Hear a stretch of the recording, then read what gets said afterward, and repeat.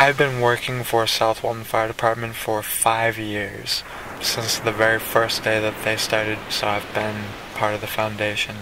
I've started to gain invaluable experience.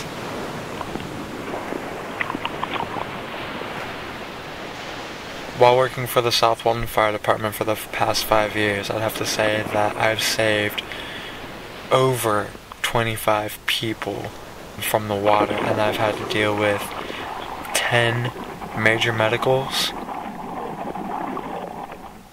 The one thing I like the most about lifeguarding would have to be the beach itself. You know, and being able to see the beauty of the beach, the crystal clear water on perfect days, and the sun being high and being able to talk with people and having them know that I'm there to help them. The one thing that I'm going to miss the most is putting on my whistle. A lifeguard and a whistle are two inseparable things, and having a whistle is their sign of power. That, that's kind of a ritual of mine. I, whenever the season ends, I take my whistle off and I don't put it back on until the beginning of the next season. And that's one thing I'm going to miss, is not being able to put my whistle on every day like I have been. I really enjoyed everything that I've done, and I wouldn't trade any of the time that I've been lifeguarding for anything.